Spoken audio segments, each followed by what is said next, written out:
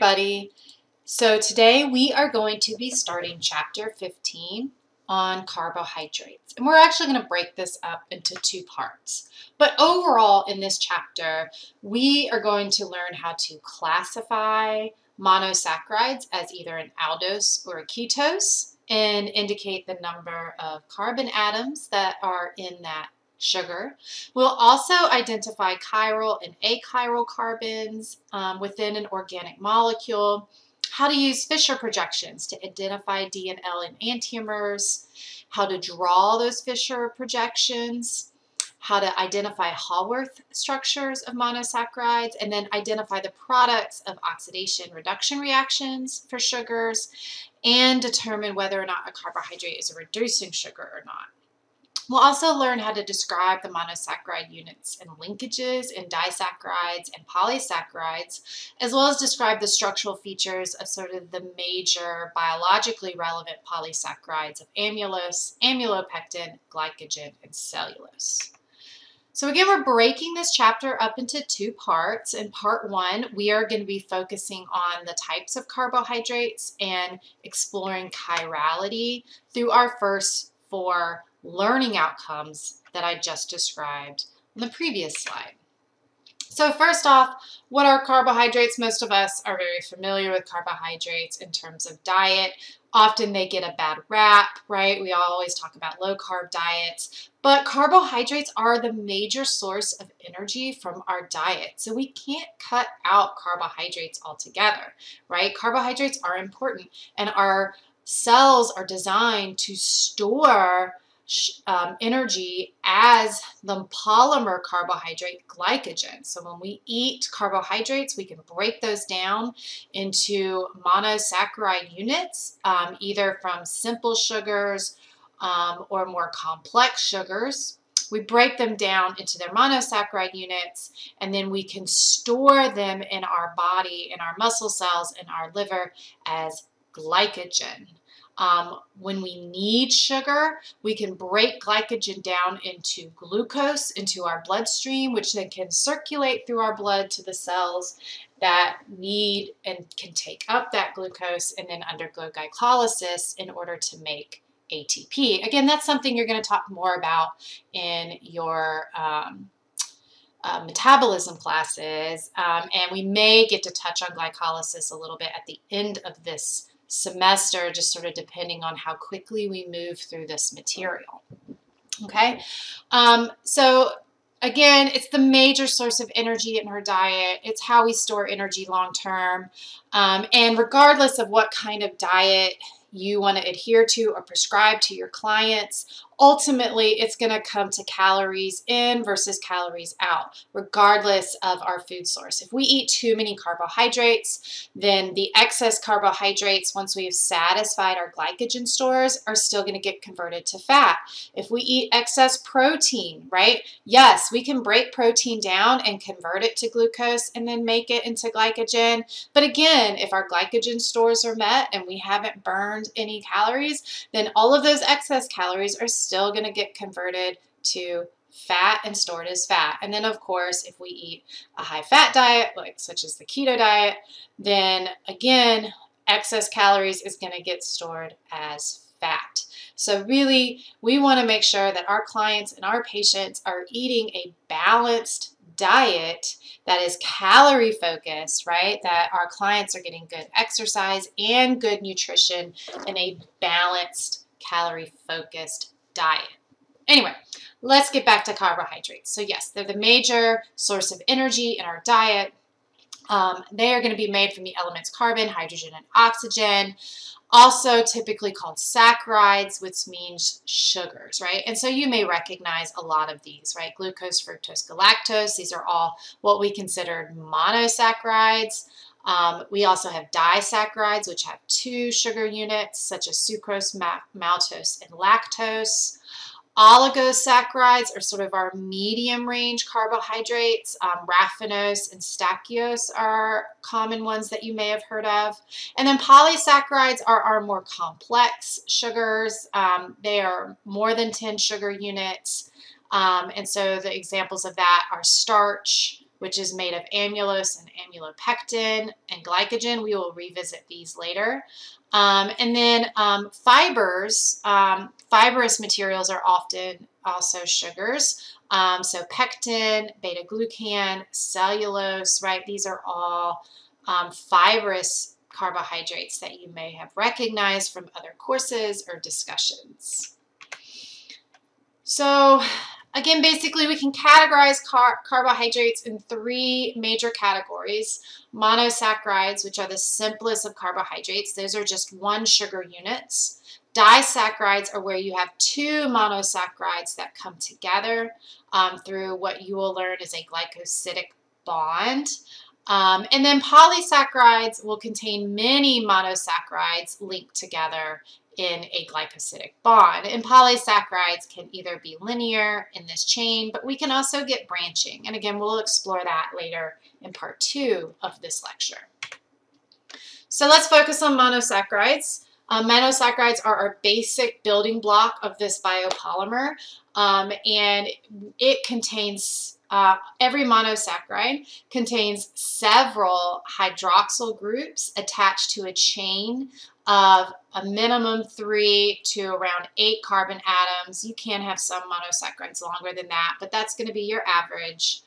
Um, and it's also going to contain either an aldehyde or a ketone. So we're going to have a carbonyl group on one of those carbons either at the end if it's at the end, then we remember from our last unit that is an aldehyde.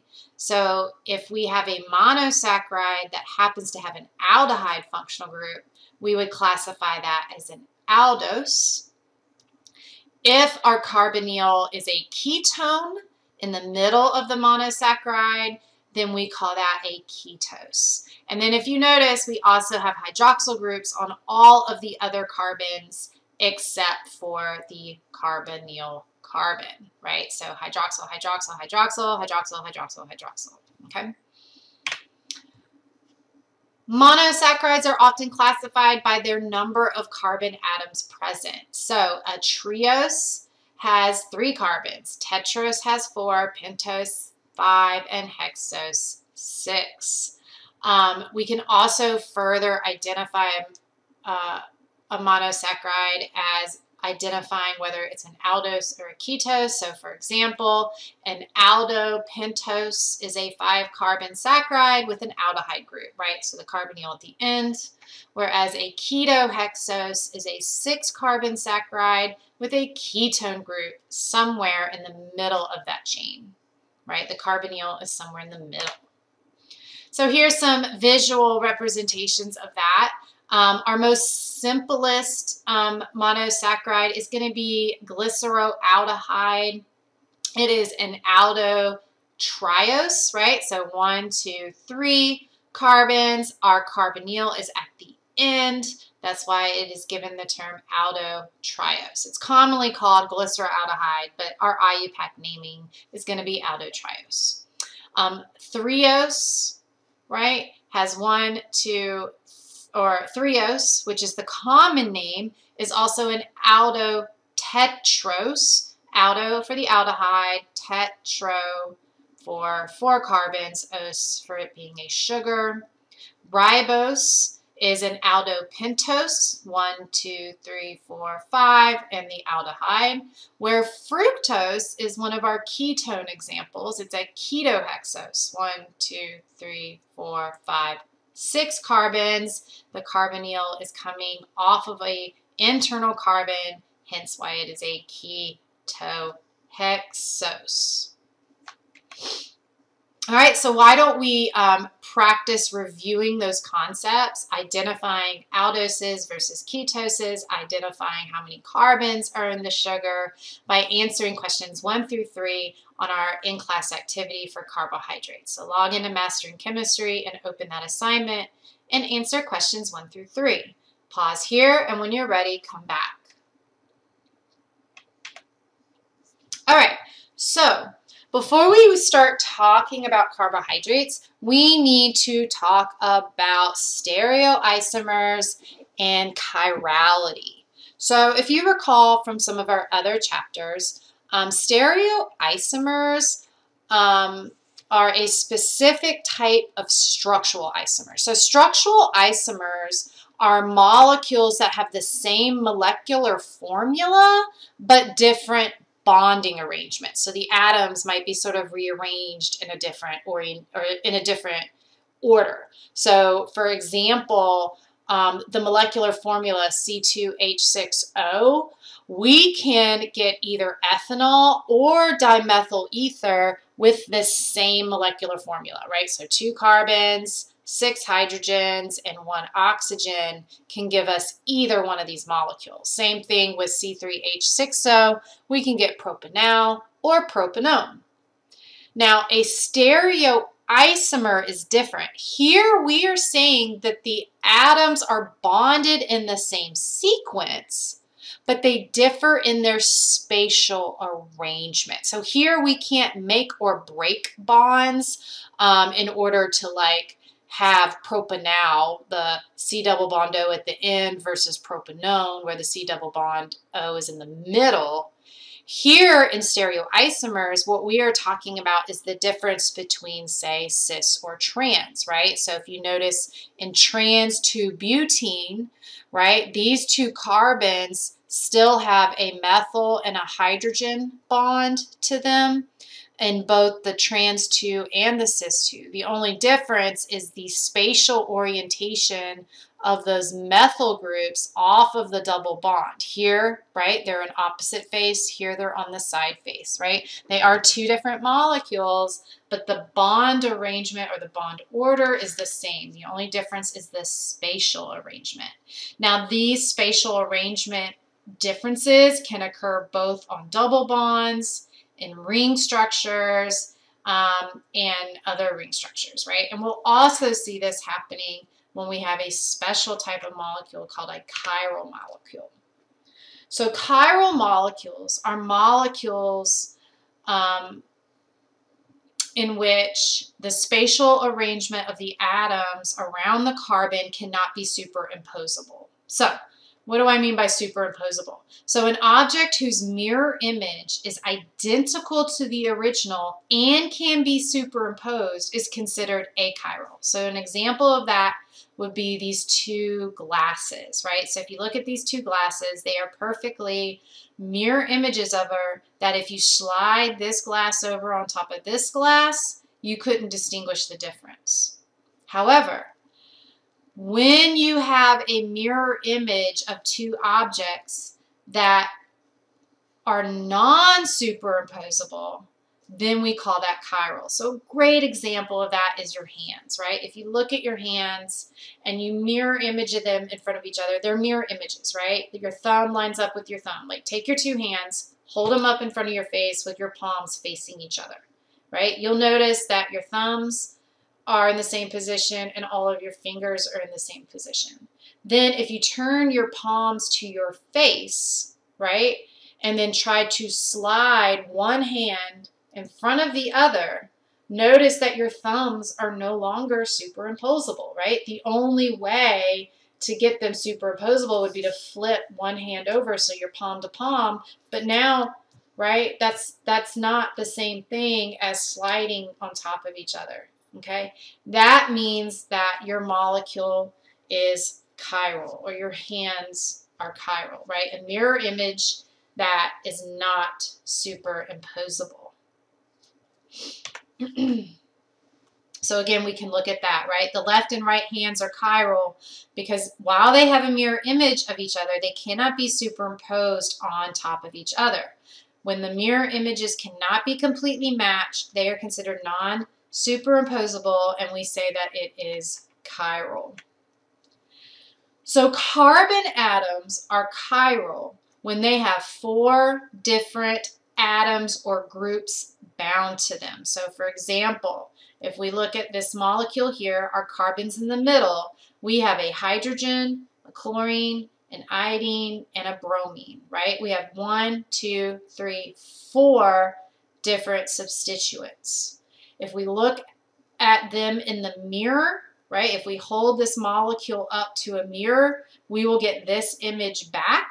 And then if we try to slide these two images over on top of each other, we will see that they are not superimposable. See, the chlorines are in different positions and the bromines are in different positions, right? In order for it to be superimposable, the bromines had to be lying on top of each other and the chlorines have to be lying on top of each other. If you try to rotate it so that that happens, then you're going to end up flipping your hydrogens and your iodines, right? So we can't line up all of the atoms at the same time. So we, again, call the carbon atom chiral. So this carbon atom is considered chiral. And the molecules, the two different molecules here, the two different mirror images, are in enantiomers of each other. Okay? If a molecule with two or more identical atoms are bonded to the same atom, it can be rotated and superimposed. Then we call this carbon achiral. So for example, if we swap out one of those substituents from our previous molecule, for example, the iodine, to a bromine, right? Now we have the mirror image. If we simply rotate the mirror image, image counterclockwise one click, then we see that we can actually slide this molecule on top of this molecule and we get the same thing back. So what this means is that this mirror image is actually the same molecule just rotated. So if you can rotate it and superimpose it, then it is considered a chiral. And it's not a structural or stereoisomer. It is simply the same molecule, just rotated. All right, so let's practice identifying chiral or achiral. Um, so the first thing you want to do is you're going to look at the carbon that you're being asked to make your assessment on. And remember, a chiral carbon is a carbon that has four different substituents on it. So not only do you want to look at what is directly bound to that carbon, but is there symmetry about that carbon atom, right? If I put a line straight down this glycerol molecule along this carbon, right, I want to see is there sort of symmetry about that carbon. So first off, I notice this carbon. I have a hydroxyl. I have this uh, COH on this side. I have a hydrogen. And I have this COH on this side, right? CH2OH, CH2OH, hydroxyl, and hydrogen. So this carbon has one, two, three. Now this functional group right here is the same thing as this functional group. So it only has three different substituents on the carbon, not four. There's symmetry about the axis here, right? This is the same as this side. Therefore, this is a chiral right? Achiral. We have three different substituents, not four. Now this carbon here on the chain, if you notice, we're not in the middle, right? We're kind of off to the side. So if I were to pull a line down this axis of this carbon, I can easily see that this functional group here is different, this substituent is different, and a hydrogen and an amino. So we have one, two, three, four different substituents on this carbon. Therefore, this carbon is chiral, right? So A is achiral.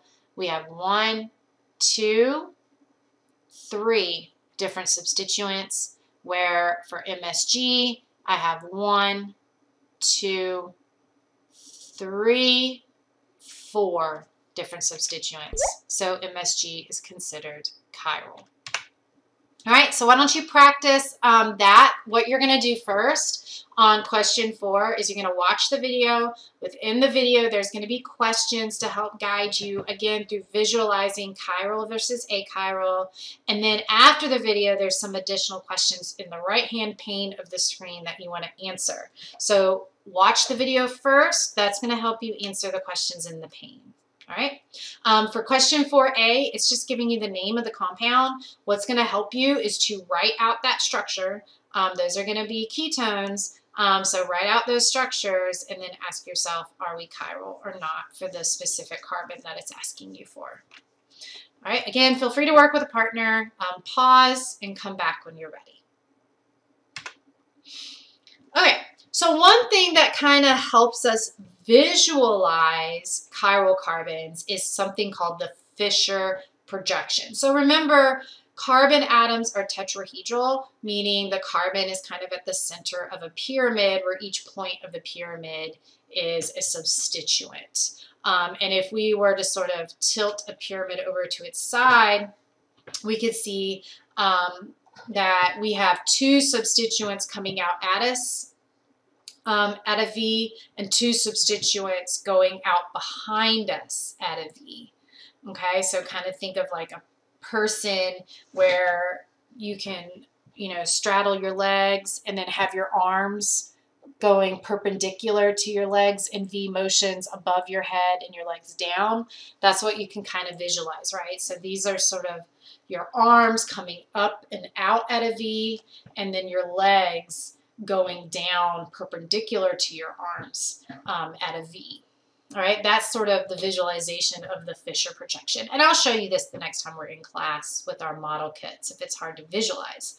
Um, but often, yes, so in a Fischer projection, your chiral carbon is drawn at the center um, with horizontal lines for bonds that project forward and vert and then vertical lines so horizontal lines these are projecting forward these are projecting toward us out of the screen with vertical lines are projecting out behind the screen okay? Um, so that is sort of the three-dimensional structure um, in the dash wedge. Now with the Fischer projection we don't have to do the wedges and the dashes. We just know that if on the vertical axis our substituents are going behind the screen and on the horizontal axis our substituents are coming toward us in the screen okay? And then we can draw um, our molecules this way okay? So that is our Fischer projection Now, Fischer projections can also be drawn for compounds that have more than one chiral carbon. And in sugars, we have many chiral carbons. Almost all the carbons, except for the terminal alcohol and the aldehyde and ketone, are going to be considered chiral. Um, the mirror, and, and, so for example, um, we can look at um, the mirror image of L-erythrose is drawn by reversing the position of all of the H and OH groups, right? So let me back up. When we identify chirality, we identify the chirocarbon as either D or L. And what this has to go to is, is chirocarbons have a property of rotating what we call plane polarized light um, in a certain instrument. Um, and so if it rotates it in one direction, we call it D. If it rotates it in the opposite direction, we call it L. Um, so when we identify carbohydrates as either D or L, what we are talking about is the orientation of the hydroxyl compared to the carbonyl at that second to last carbon. Okay, so for example, if the hydroxyl is pointing um, towards the right hand side on this last carbon, we call it D. If it's pointing to the left hand side, we call it L. Now, when we're talking about Fischer projections for D versus L, notice not only um, do we change the orientation of the hydroxyl group for that one carbon, but we change it to the opposite side for all of the other carbons moving up the chain. Okay, so for D-glucose, we have our hydroxyls in this specific orientation, so it's D, D, L, D. In L-glucose, it's L, L, D, L. But again, we are just going to name the overall sugar based on the second to last carbon from the aldose or the ketose. Okay. so again, just to review, the designation as a D or an L stereoisomer of the Fischer projection is determined by the position of the hydroxyl group attached to the chiral carbon farthest from the carbonyl. So farthest away from the carbonyl, the last chiral carbon farthest. The reason this carbon isn't identified is because it's not chiral. Notice we have two hydrogens and a hydroxyl, and then this substituent, because we have two hydrogens, we know this guy's not chiral because we have two substituents that are the same. So it's the next carbon up that is considered our chiral carbon. If the hydroxyl is coming to the left of the Fischer projection, it's an L, right? Left L, left L. If it's coming towards the right um, in the Fischer projection, then it is D, okay? The D isoform. now, what's the point of this? Well, we can actually get very different properties from the L isomer versus the D isomer. Um, so for example, when we think of carvone, right, carvone is this molecule here. We have a chiral carbon here at the bottom of the ring. Um, in L carvone, where this functional group is coming off towards the left in our Fischer projection, this is the aromatic or the molecule that you can smell and taste in spearmint versus D-carvone, which is the molecule that you kind of taste in caraway or also known as sort of fennel, right? Two very, very, very different flavor and scent profiles, all derived from just the difference in the stereoisomer of the L versus the D. And this has to do with the fact that when we taste these compounds, what we are actually doing is having a chemical reaction on our tongue receptors. And our tongue receptors are going to be specific for one molecule versus the other. So the tongue receptors that taste spearmint is going to relay a different signal than the tongue receptors that bind to and taste um, caraway, right? So again, we're going to elicit a different nerve response to the different molecules because we can, at our receptor level, determine the difference between these two isomers. All right, so let's practice this. Indicate whether each of the following pairs of the Fischer projection cannot be superimposed. So again, is this a chiral carbon here in the center? Yes or no? So for A, Look, we have one, two, three, four substituents. One, two, three, four substituents, right? Here, what we are swapping is the methyl group. This is not superimposable. Therefore, it will be chiral, right? So they cannot be superimposed. These Fischer projections here, we have one, two, three, four, one, two, three, four but two of them are the same, right? If we are to rotate this molecule, um, one, two, three, four, right? We can rotate this guy, right? All we have to do is rotate us 180 degrees, and we end up getting the same molecule back, and we can superimpose, right? So if we rotate on this axis 180 degrees, basically swapping out these two, it is superimposable. We can't do that here, right? If we rotate 180 degrees, um, then it is not going to be superimposable. Okay? Cannot be superimposed, can be superimposed. All right, so let's identify this sugar as either D or L. So remember, we want to look at the farthest chiral carbon away from the carbonyl. So here's our carbonyl, CHO, okay? This is a chiral carbon, this is a chiral carbon, this is a chiral carbon, this is a chiral carbon, this is not a chiral carbon. We have two substituents that are the same, right? So this is our chiral carbon furthest away, and remember, we identify it as D or L based on the hydroxyl. If the hydroxyl is pointing to the right or to the 3 o'clock position, then we call it D. If it's pointing to the left or to the 6 o'clock position, then we call it L. Because this hydroxyl is pointing to the right or towards the 3 o'clock position, we would identify this as a D sugar. Okay, so the hydroxyl is to the right. It is a D enantiomer.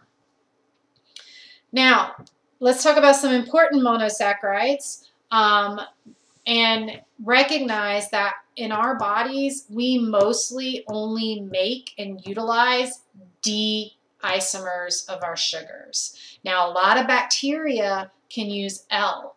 Um, and that actually poses a problem for antibacterial resistance, especially when those L sugars are used to make protective barriers to encase the bacterial cells or the viral cells. Um, and our defense mechanisms can't come in and break those down because our enzymes cannot break down the L isomers. We have evolved to use the D isomers. So some really important monosaccharides is D-glucose, right? D, that hydroxyl is in the D position, D-galactose, and D-fructose, okay? Notice these are all um, have the molecular formula C6H12O6, so they are all isomers of each other. Two of them are aldoses, so they are all stereoisomers of each other. D-fructose is a ketose, so it's actually a structural isomer. So these are stereoisomers. This one is a structural isomer because the carbonyl is in a different position compared to glucose and galactose. All right, glucose um, is the main sugar found in fruits and vegetables, corn syrup, and honey, um, also commonly called dextrose in our blood sugar. It's the building block of many disaccharides and polysaccharides such as cellulose and glycogen. Galactose um, is the one of the main sugars found in lactose or milk sugar, um, and it's really important in cellular membrane of in cellular membranes of the brain and nervous system. So if you have clients who cannot break down lactose, um, you need to make sure that they are getting supplemental galactose. Um, and then there are some clients or patients that have metabolic disorders where they can't use galactose, and that's going to cause a lot of issues in brain and nervous system development from infancy.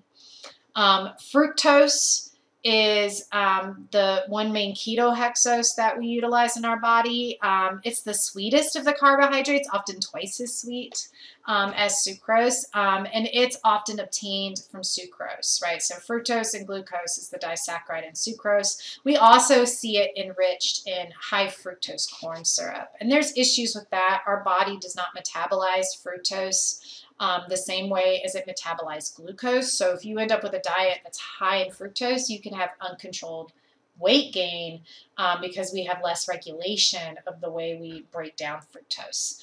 Um, than we do glucose. And we, again, that's something you're going to explore more when you talk about metabolism in future classes um, or at the end of this uh, semester if we can get there.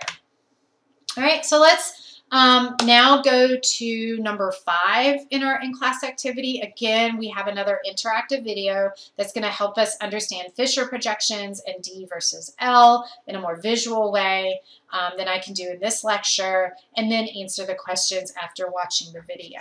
Pause, and when you're ready, come back.